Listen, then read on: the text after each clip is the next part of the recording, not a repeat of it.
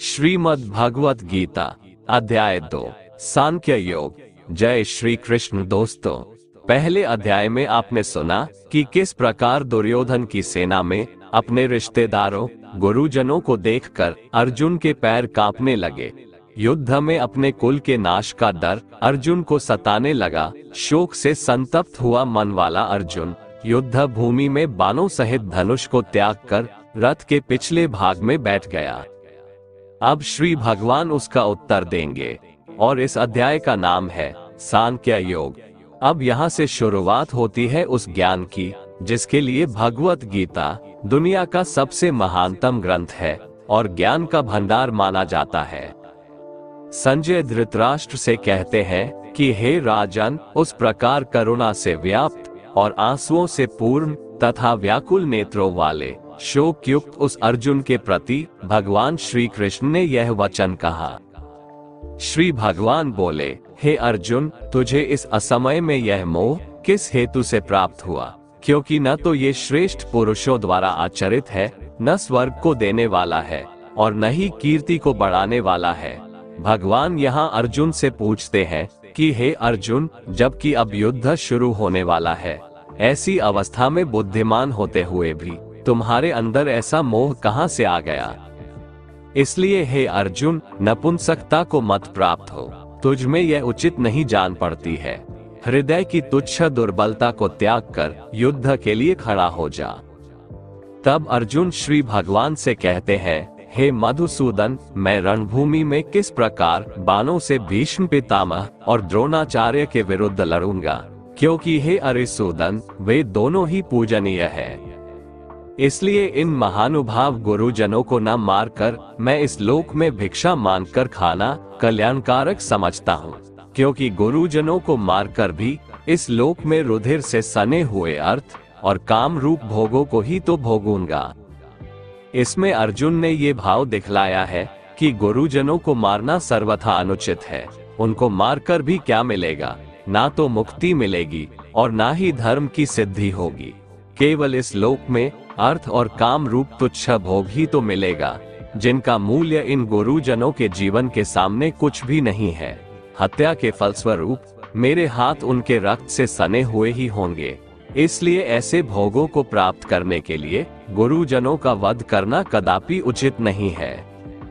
हम ये भी नहीं जानते कि हमारे लिए युद्ध करना और न करना, इन दोनों में से कौन सा श्रेष्ठ है, अथवा ये भी नहीं जानते कि उन्हें हम जीतेंगे।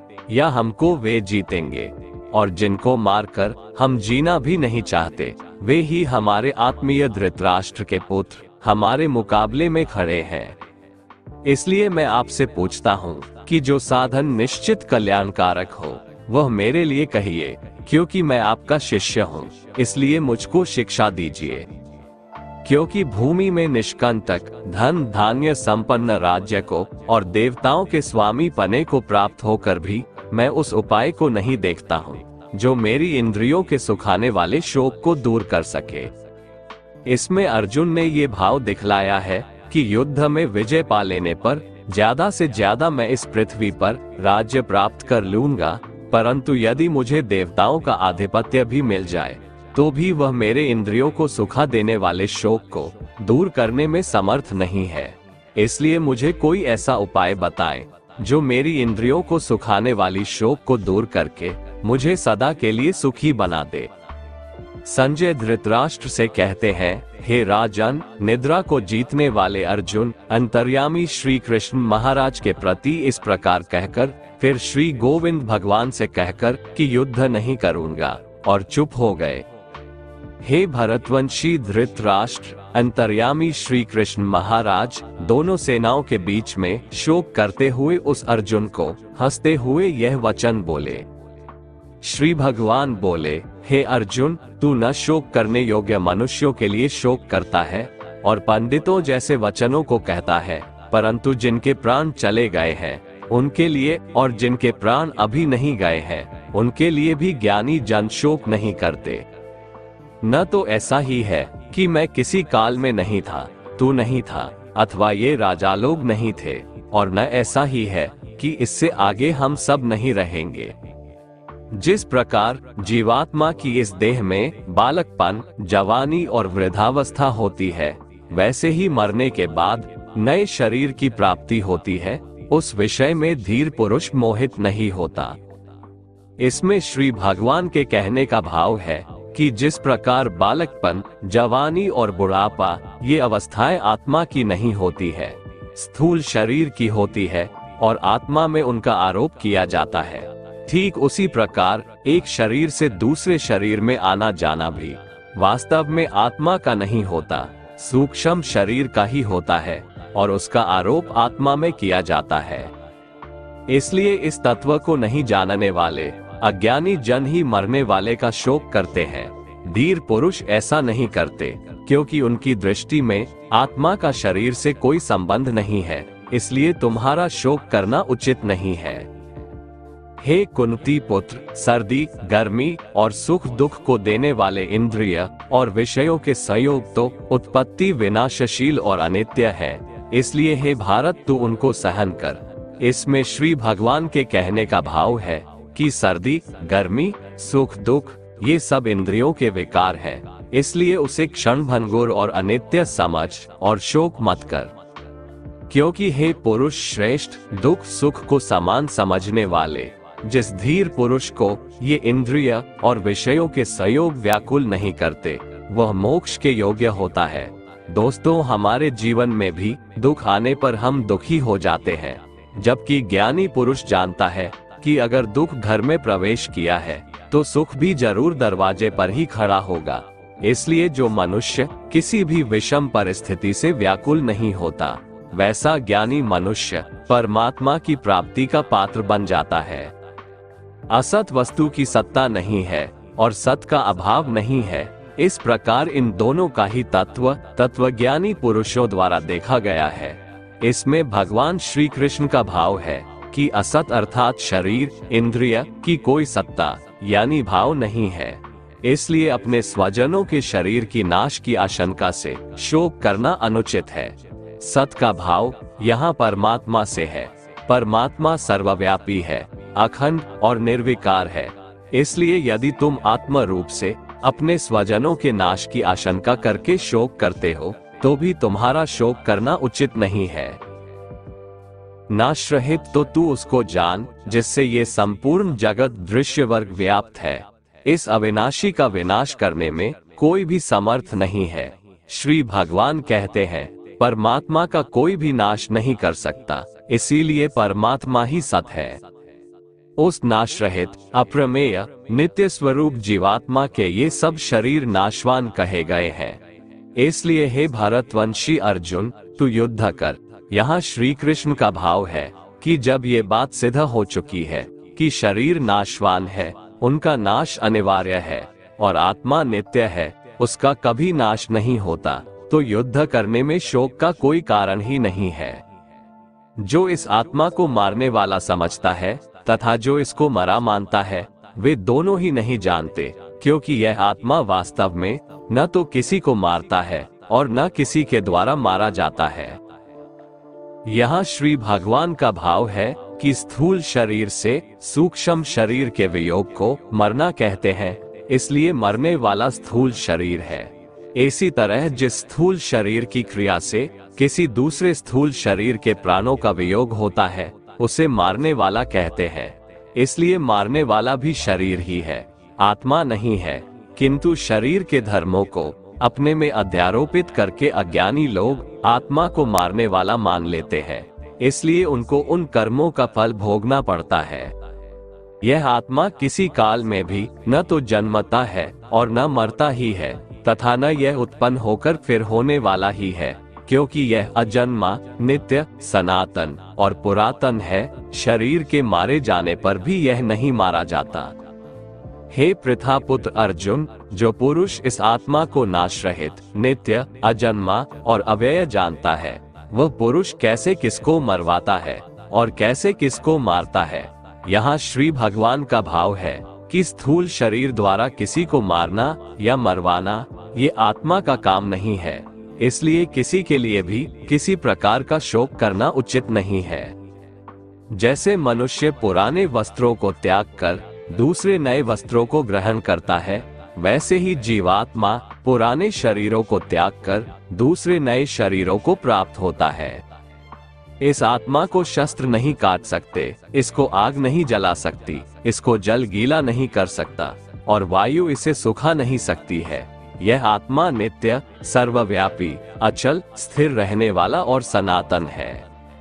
यह आत्मा अव्यक्त है, अर्थात, आत्मा किसी भी इंद्रिय के द्वारा जाना नहीं जा सकता है। यह आत्मा अचिंत्य है, अर्थात आत्मा मन का भी विषय नहीं है। यह आत्मा विकार रहित कहा जाता है। इसलिए हे अर्जुन, इस आत्मा को उपर्युक्त प्रकार से जानकर, तू शोक करने योग्य नहीं है, अर्थात तुझे शोक करना उचित नहीं है।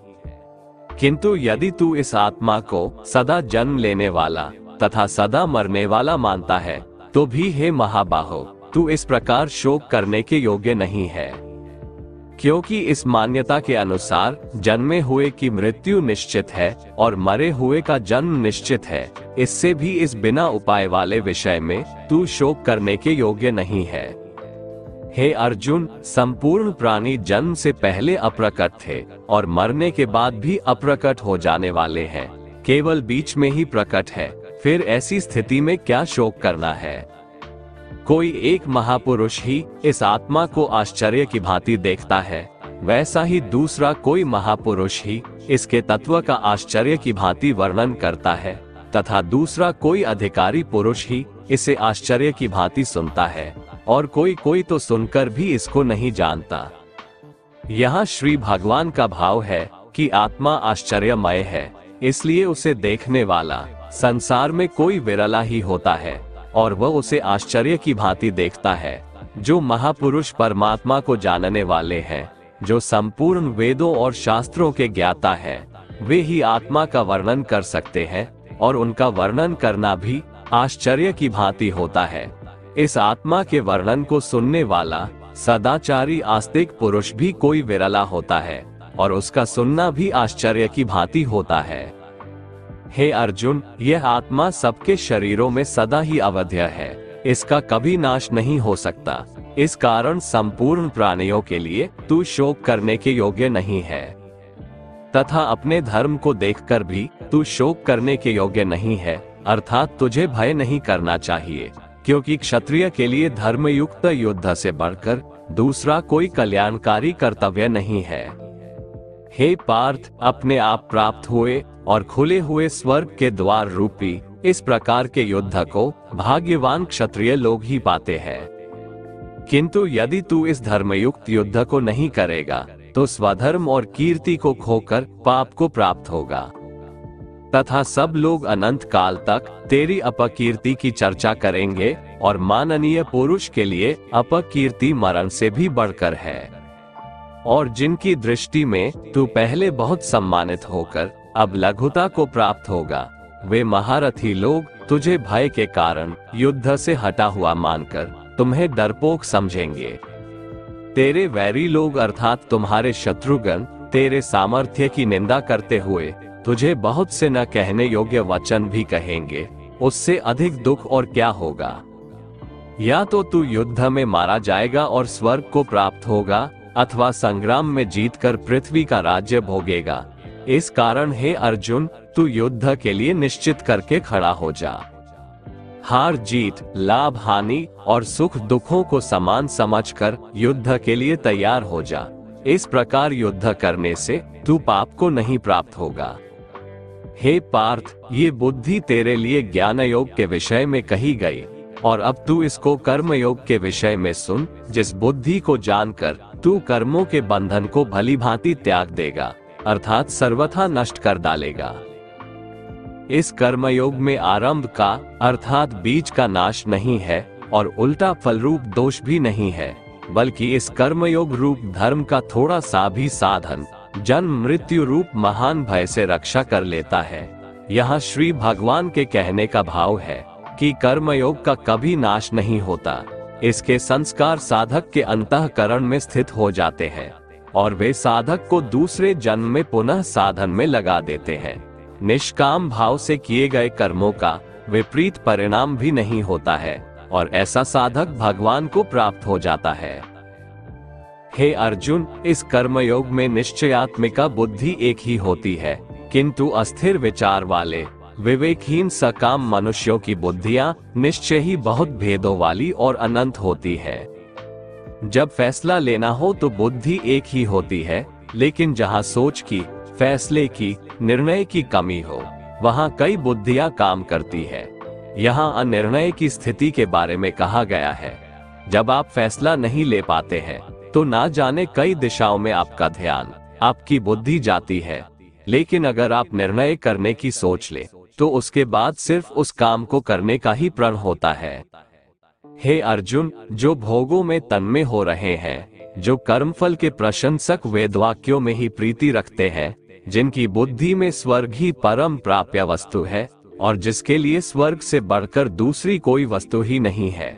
यानी ऐसे लोग जो कर्म के बदले में होने वाले, सिर्फ़ फल या लाभ की बात करते हैं तो वह कर्म नहीं स्वार्थ बन जाता है, उसे कर्म नहीं कह सकते। हे अर्जुन, जो अज्ञानी लोग सिर्फ़ दिखाव शोभायुक्त वाणी को कहते हैं, वो ढोंगी होते हैं। वो कहते बहुत कुछ है, लेकिन करते बहुत कम है। ऐसे लोगों से बचकर रहना चाहिए। जो कर्म की बातें सिर्फ़ भोग और ऐश्वर्य के लिए करते हैं, जिनका ध्येय सिर्फ़ भोग और ऐश्वर्य है, उन पुरुषों की परमात्मा में निश्चयात्मिका बुद्धि नहीं होती। हे अर्जुन, वेदों के कर्मकांड हमारी प्रकृति के तीन गुणों से जुड़े हैं।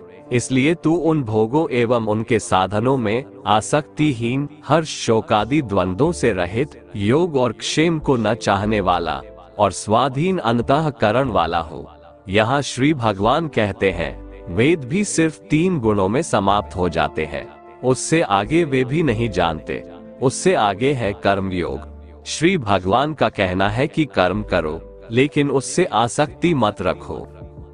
बेहद बड़े जलाशय के प्राप्त हो जाने पर, छोटे जलाशय में मनुष्य का जितना प्रयोजन रहता है, उसी तरह से जिसने ब्रह्म तत्व को समझ लिया, तब उसके लिए वेदों की कोई आवश्यकता नहीं रह जाती है। तेरा कर्म करने में ही अधिकार है, उसके फलों में कभी नहीं, इसलिए तू कर्मों के फल के लिए काम मत कर।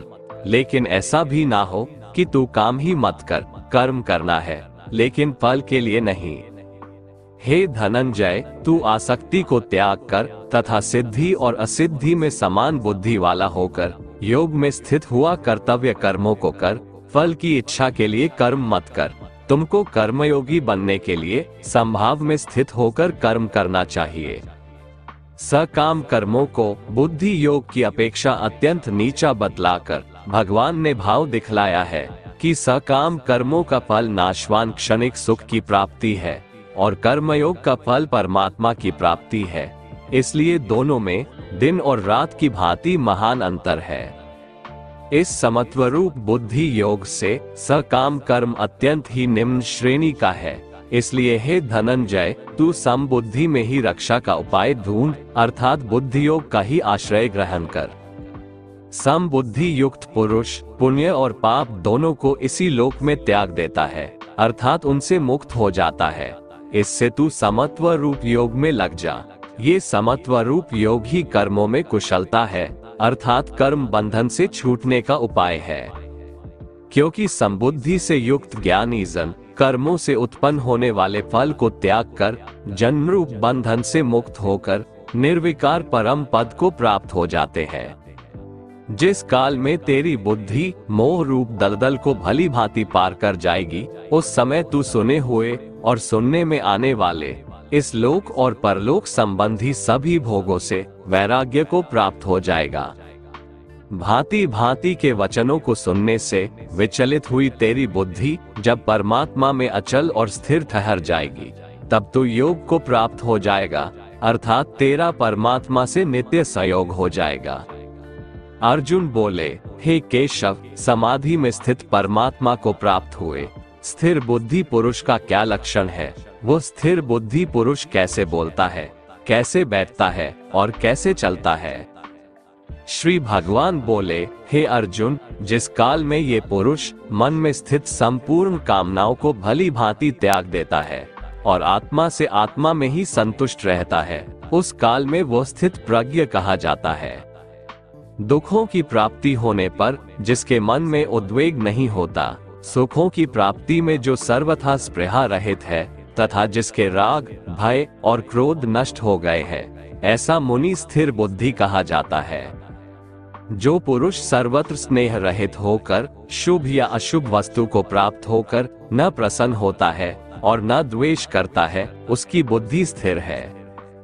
कछुआ सब ओर से अपने अंगों को जैसे समेट लेता है, वैसे ही जब ये पुरुष इंद्रियों के विषयों से, इंद्रियों को सब प्रकार से हटा लेता है, तब उसकी बुद्धि स्थिर है, ऐसा समझना चाहिए। इसलिए साधक को चाहिए कि वह उन संपूर्ण इंद्रियों को वश में करके समाहित चित होकर मेरा ध्यान करे, क्योंकि जिस पुरुष की इंद्रियाँ वश में होती है, उसी की बुद्धि स्थिर हो जाती है। विषयों का चिंतन करने वाले पुरुष की उन विषयों में आसक्ति हो जाती है। आसक्ति से उन विषयों की कामना उत्पन्न होती है और कामना में विघ्न पड़ने से क्रोध उत्पन्न होता है। क्रोध से भ्रम पैदा होता है, स्मृति में भ्रम हो जाने से बुद्धि का नाश हो जाता है और बुद्धि का नाश हो जाने से उस पुरुष का पतन हो जाता है। जिस प्रकार हवा के झोंके नाव को भटका देती है ठीक उसी प्रकार मनुष्य की इंद्रिया उसकी बुद्धि को भटका देती है।